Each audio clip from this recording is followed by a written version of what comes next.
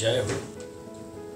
मुझे बड़ी खुशी है कि आज मेरे परम मित्र, डॉक्टर सुनील डॉक्टर सुनील जोगी जी के बारे में मुझे कुछ कहने का मौका मिला है। मैं डॉक्टर सुनील जोगी जी को करीब 25 से 25 वर्ष से जानता हूँ। ये वो ज़माना था कि जब वो सुनील जी जो है आहिस्ता आहिस्ता आगे बढ़ रहे थे। हमसे आके मिले आके मिले और, बस। कुछ बातचीत के बाद में पता चला कि ये बहुत अच्छे कवि है। हमने कहा, एक कविता सुनो। तो उन्होंने एक दो कविता के बाद में एक कविता सुनाई।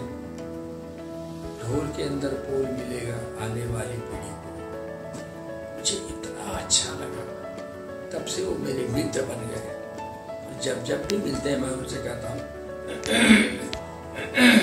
सुनिए जी, वो कविता सुनाइए।